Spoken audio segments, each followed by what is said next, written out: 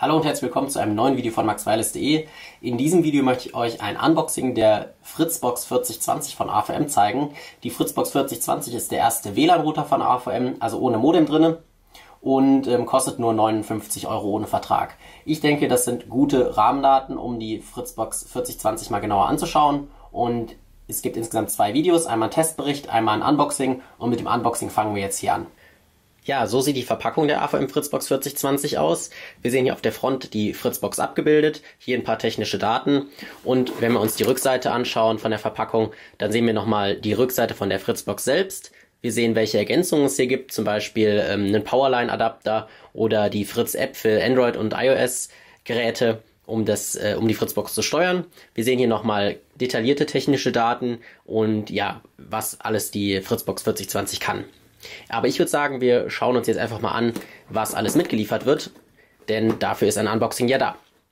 So, machen wir die Fritzbox 4020 mal auf und dann sehen wir hier direkt ein bisschen Papiermaterial. Also hier eine Kurzanleitung, dann ähm, nochmal welches Zubehör es dafür gibt und wir haben hier ja eine Notizenkarte und da wird auch nochmal genau erklärt, wofür die Tasten da sind und die LEDs und wir sehen hier dann direkt auch ähm, das Kennwort für das WLAN und natürlich den WLAN-Namen.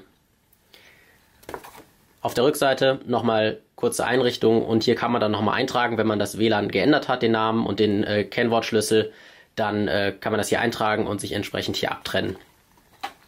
So viel zum Papierkram, sage ich mal. Den legen wir mal beiseite und dann haben wir hier auch direkt die AVM Fritzbox 4020. Wie man sieht, die ist kaum größer als meine Hand, also deutlich kleiner als die Fritzbox Modelle mit einem integrierten Modem. Aber vom Design her entspricht, der, entspricht die Fritzbox 4020 natürlich den ganz normalen bekannten Fritzbox Modellen, wie zum Beispiel der Fritzbox 7390 oder 7490. Ja, das ist das Gerät an sich. Schauen wir uns gleich nochmal kurz genauer an. Aber jetzt geht es erstmal zum anderen Zubehör, was noch mitgeliefert wird. Und hier haben wir also ein flaches Netzwerkkabel mit 1,8 Meter Länge, RJ45 und damit kann man zum Beispiel einen Computer anschließen. Das legen wir auch beiseite. Und dann haben wir noch ein Netzteil. Das sehen wir hier. So sieht das aus. Ähm, kennt man auch von AVM, sieht immer gleich aus, mehr oder weniger. Und hier mit diesem Netzstecker, der dann eben in die Fritzbox eingesteckt wird. Ansonsten dürfte es das auch schon gewesen sein vom Lieferumfang. Ich sehe jetzt hier nichts mehr und ihr seht auch, es ist nichts mehr drin. Daher lege ich die Verpackung einfach mal beiseite und lege euch das nochmal so hin, damit ihr seht, was alles im Lieferumfang, Lieferumfang dabei war. Das Netzwerkkabel, das Netzkabel für den Strom und eben der ganze Papierkram. So sieht der Lieferumfang aus.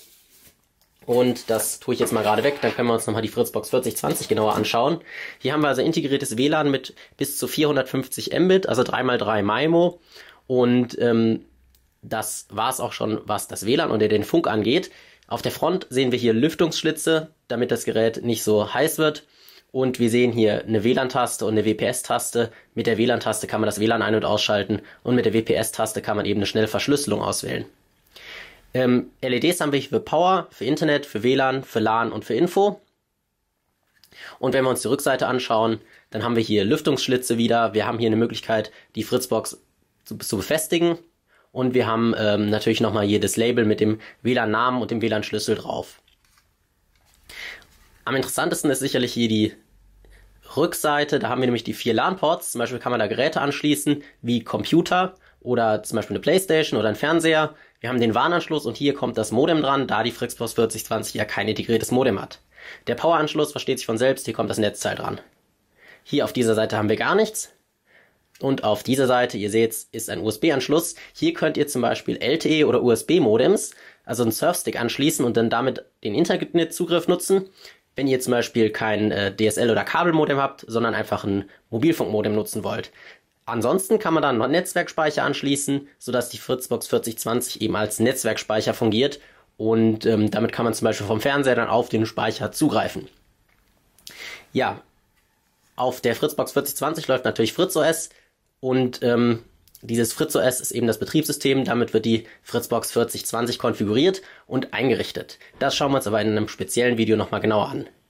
So viel zum Unboxing würde ich sagen, der Fritzbox 4020. Wenn ihr schon Fragen habt, dann gerne in die Kommentare damit. Ansonsten kommt auch in Kürze ein Video zur Fritzbox 4020 Einrichtung und ein genauer Testbericht natürlich mit Erfahrung zum WLAN, zum Beispiel zur Reichweite.